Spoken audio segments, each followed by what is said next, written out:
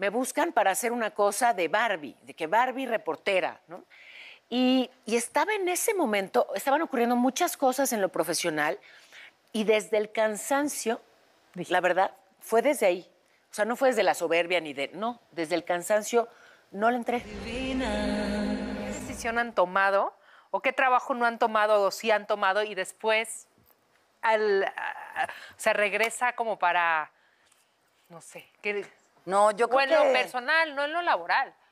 sí, porque en el trabajo, este, no creo que no, nunca me ha pasado que no. Qué Ah, qué hombrito bonito. tan bonito. El hombrito. Porque sí, porque este vestido me lo regalaste tú. Ah. Con tu pelo en tu pompa. ¿ves cómo quiero que Por enseñes? eso te amo. ¿Ves cómo quiero que Mira, o enseñes? sea, le regalas el vestido deschichado. ¿eh? Ese. que Pelé. Exacto. dedicar No, un creo programa. que han sido más eh, las cuestiones personales que las laborales. Ok. De- ¿Qué? Estamos me muy risa y risa con el arrocito. Ah, sí. No, en, el, en mi caso, es, todavía me siento muy arrepentida y yo creo que me voy a ir al- a la tumba con, con mi arrepentimiento de no haber estado más con mi hermana en su proceso de recuperación de cáncer, ¿sabes? Me dio tanto miedo y me... Pero por tu trabajo. tanto. No, por decisión, no, no, no, o sea, yo no podía ver que a mi hermana le ponían algo aquí.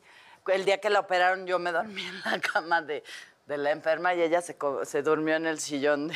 Consuelo. ¿Y eso? ¿Y lo permitieron en el hospital? No le preguntaron a nadie. Sí, ¿no?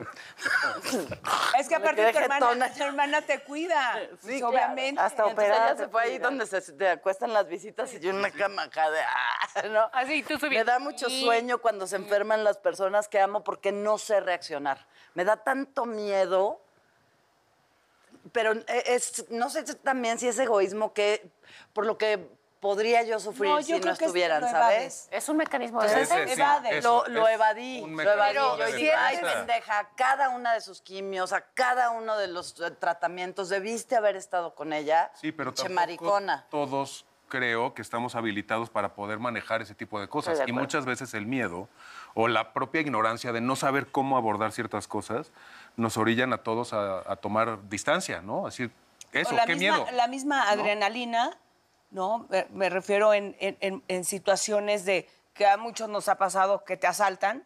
¿no? La misma adrenalina, no sabes cómo vas a reaccionar. No, te apendeja un poquito o sea, eh, o, te, o agarras y corres, o te peleas con el güey y no sabes cómo te va a ir, o te quedas Pero ya, paralizada. pero ya que deja soy de yo. castigarte por eso. o Sí, sea, al ¿verdad? final, mira, Creo que eh, eso es de lo que más me arrepiento en mi vida. O sea, si, no podías sumarle en ese momento porque no lo encontrabas aquí, pues no le sumaste. Pero llénala de amor ahora que sí puedes. ya. exacto, eso estaba lo que te iba a decir. Pero tocando el tema de malas decisiones, Claro. creo que en mi vida fue una mala decisión. Pero al final, las consecuencias de hoy no han sido fatídicas. No, porque tienes una muy no, bonita se relación con tu resuelve. hermana. Sí. Yo Sí. les voy a contar una mala decisión laboral A ver.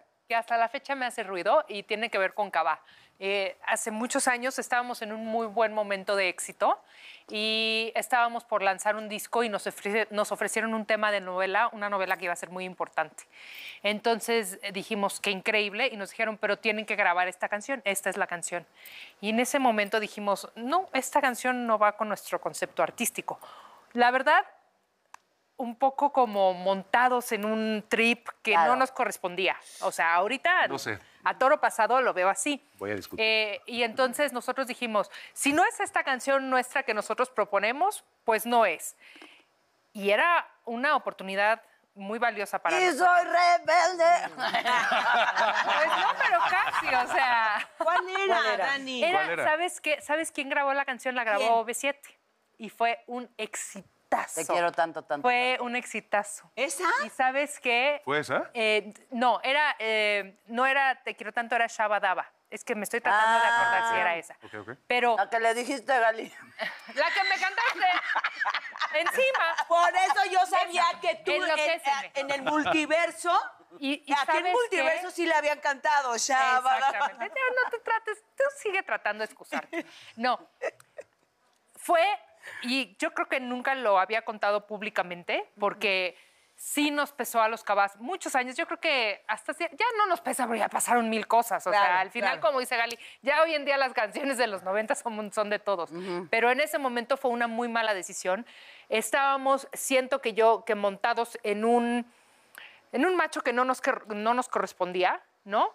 Y, y sí fue una mala decisión que nos repercutió laboralmente fuerte. Pero que lo ves ahora en, en retrospectiva, porque en el momento creo que sí se vale decir, oye, mi No. concepto es este. No, en Entonces voy a defender que si tenemos esta propuesta Sí, musical no, o no puede artística, cerrarse tanto. O sea, ya sabes como, sí, estoy de acuerdo y lo que tiene, estás diciendo, Andrés, tienes mucha razón. Tienes que defenderlo. Porque en ese momento asumo, donde claro, uno defiende, porque, eh, insisto, la- el concepto, la propuesta musical o, o lo que quieres hacer de, de tu proyecto de ese momento, pues no corresponde con lo que te están proponiendo. O la propuesta no es del todo, eh, ¿cómo decir? Pues completa, ¿no? Porque te dicen un tema y uno pensaría, bueno, el tema es de nosotros y no, pues el tema es el que va a decidir alguien más. Cuando el chiste era que fuera de ustedes. Sí, pero igual y hasta cierto punto, si no estás tan aferrado a algo, puedes negociar o puedes soltar, suelta un poquito por acá, pero no, o sea, obviamente no vas a comprometer nunca tu esencia, tu integridad, mucho menos. Pero sí hay veces que tienes que soltar para, para decisiones que son importantes, sobre todo hablando laboralmente, no estoy hablando en lo personal. Y, eh, y sobre todo en ese, en ese momento que, pues, Caballo B7 éramos archirrivales y entonces sí fue como, uy, Pero- ¿no? pero no son cosas que te da la madurez. metieron el gol, pues sí, sí. claro, ya después sí. O sea, que ya la madurez Ya o cierta madurez. Pero fíjate, yo dice, bueno, no logro sí la regué. madurar. No, no, Na- maduramos ahorita, no te yo no, yo no te estoy manejando lo que viene siendo la, La madurez. maduración. La maduración. No, la, la maduración. No, a ver, o sea, ahora mismo escuchándote hablar, me acordé, por ejemplo, esto puede parecer una tontería, pero el año pasado me buscan para hacer una cosa de Barbie, de que Barbie reportera, ¿no? Y, y estaba en ese momento, estaban ocurriendo muchas cosas en lo profesional y desde el cansancio, la verdad, fue desde ahí. O sea, no fue desde la soberbia ni de... No, desde el cansancio no le entré. Fue hace no sé cuánto. Y, y me descubrí después como castigándome a mí misma por no haber aceptado eso que estaba bien padre.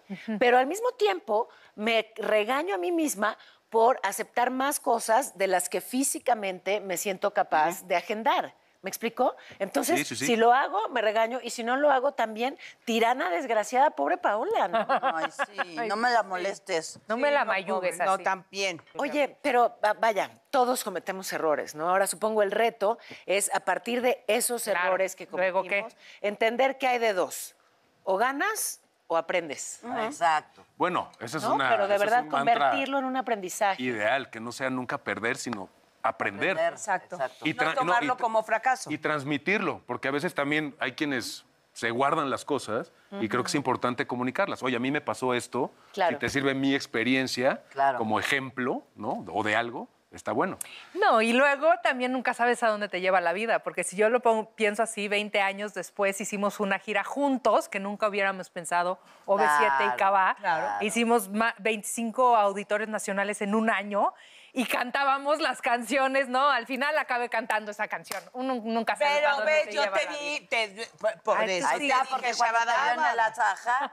Oye. Pero ya ahora, cuando te veo en un centro comercial, voy a gritar: ¡Santos! Por favor. ¡Santos! Sí, sí, sí. Llévame a la hacienda, A la hacienda de la esperanza. A la tierra de los a la covacha de la hacienda. La De covacha la de la esperanza, hacienda. la tierra de la esperanza. Sí. Pero fíjate, no te voy a volver a preguntar yo.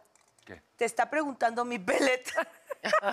¿Qué cosa? La Ahora Oigan, es que, habla oigan, es que también. aquí se... se- Habla, canta, baila, cocina. ¿Qué se quieres saber, pellet? No, Ah, bueno. ¿Qué decisiones has tomado que que te has arrepentido en el amor? Bueno, data del 1980 y muchos, que sí, en algún momento me equivoqué. Y asumo que me equivoqué porque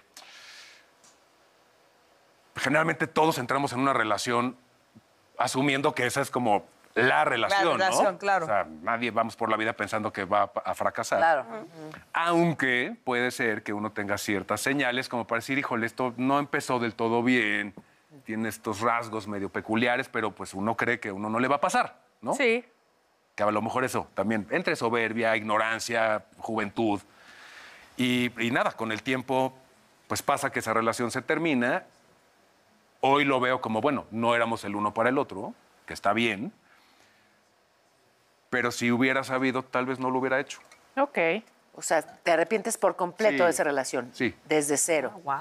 Hola, soy Daniela Magún y te quiero invitar a que te suscribas al canal de YouTube de Unicable. Ahí encontrarás muchísimas sorpresas de netas divinas. Activa la campanita para que cada que haya contenido nuevo te suene y listo, estarás al día.